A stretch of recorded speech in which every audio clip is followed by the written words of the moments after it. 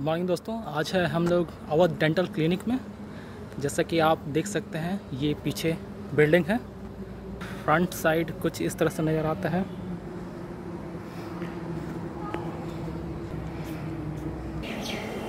ये इसका दूसरा भाग है। जैसा कि आप यहाँ देख सकते हैं, काफ़ी खूबसूरत नज़ारा है। और ये पीछे आपका दलमा पहाड़ भी है।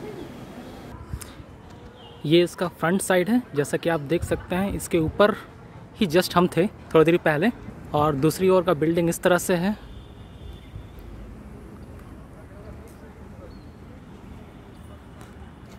आगे साइड गार्डन है।